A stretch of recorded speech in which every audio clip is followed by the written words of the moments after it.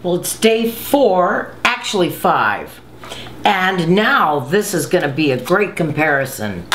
So, just to recap real quick, I did unbleached unbromated bread flour. We made some rye starter and then I had to this should have had bread flour in it but I didn't have any so I used King Arthur wheat flour in it and then this is the Bob's wheat berry now you can see I did save what I cut in half so that you could see what was going on um, this one actually sort of exploded so did that one.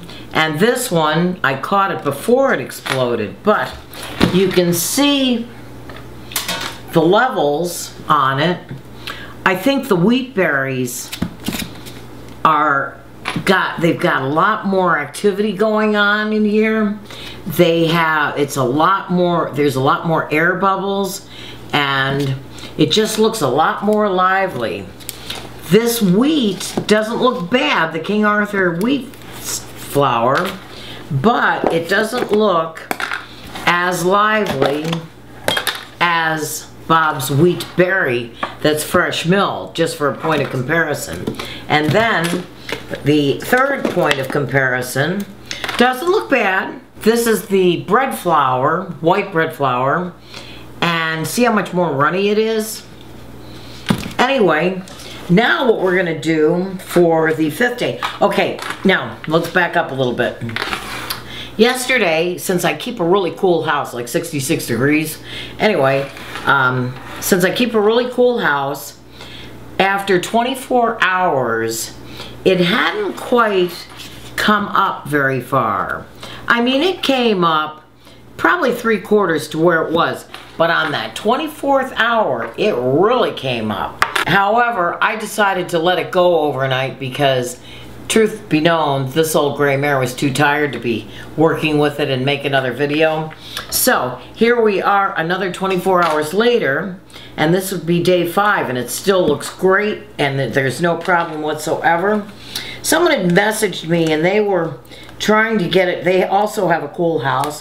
They were trying to get it to come up a little bit more active in their oven and whether it was on the proofing temperature or not I'm not sure but I'm not sure that that's a really good idea. I know I have a really good proof temperature in my oven. However, I did temp it and it's like 85 degrees. That's a little bit too hot for the starter. All right, so having said that, we're gonna go with half of the bread dough.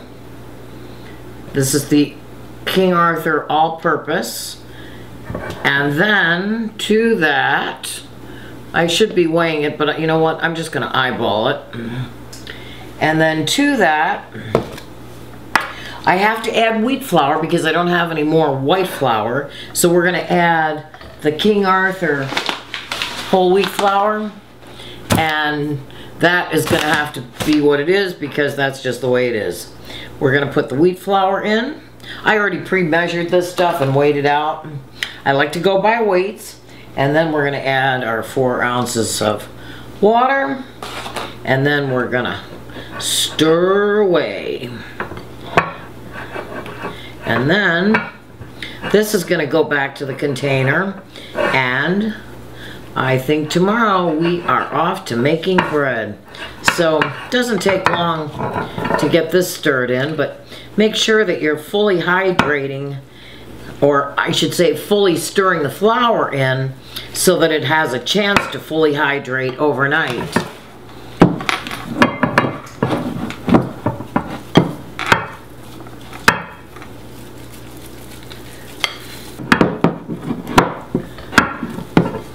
Alright, so this has a nice stir on it.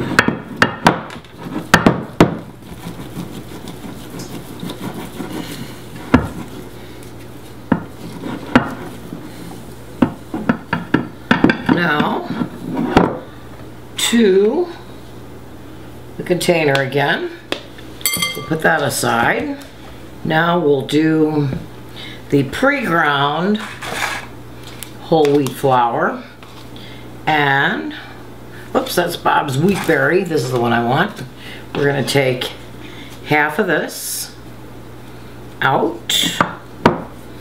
If you have a friend that likes to bake, what you can do with these that you're dividing in half is give half to a friend, but make sure that you leave instructions on what they need to add and what they need to do.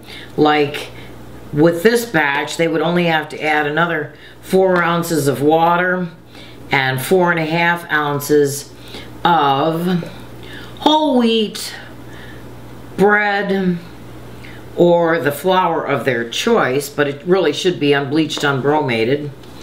And then let it go for 24 hours, maybe a little longer. You got to take a look at it. Depends on your the temperature of your house. And then they're ready to use it for baking bread. So now that this is done, half, I'll put that aside. We're gonna add the flour and I'm gonna add water. We'll stir this up. Back to the container it goes.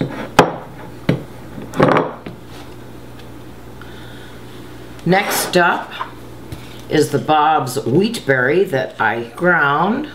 So half in the bowl. Okay, then the ground flour and the water. And we'll stir this together.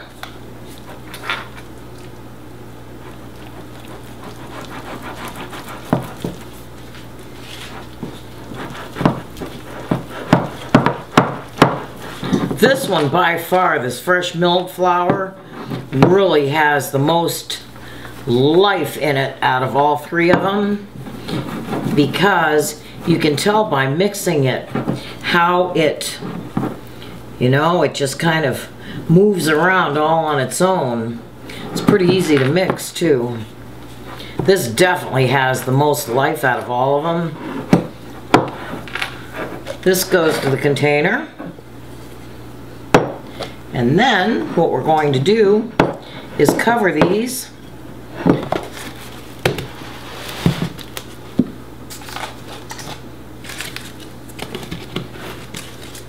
We don't really have to mark these now because they have, now that they've got a life of their own going on, I don't really have to mark these at all. However, there's all three of them and we'll see you back here tomorrow.